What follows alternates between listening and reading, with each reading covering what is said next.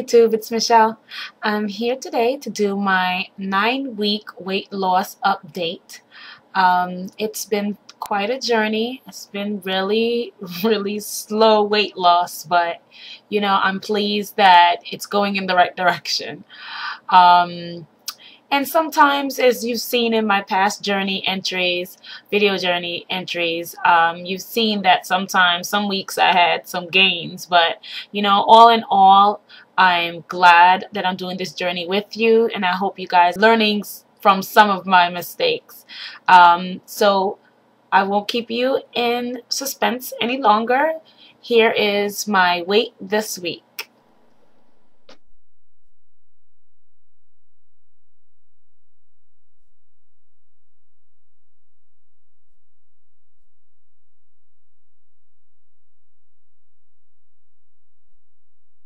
Okay, so my weight this week is 145.6. And I'm excited because I only have 2.4 pounds to go before I can say I lost 10 pounds since I started this journey. So I'm going to be even more focused than usual. Um, when I say that, I mean I, you know, have been cheating.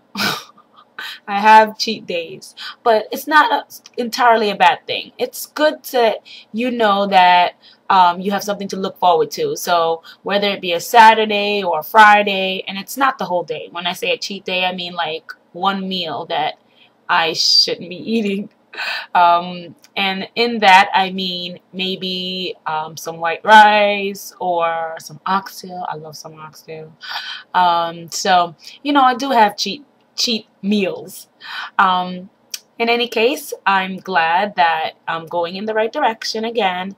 And um, please subscribe. If you have any questions, send me a message. Um, I'm here basically to go through this journey with you guys. I appreciate you all. And that's it for this week. I'm not going to make another video on my weight update until I reach 10 pounds. So that may be two weeks. So I'll see you then. And remember, live your fabulous existence. Bye.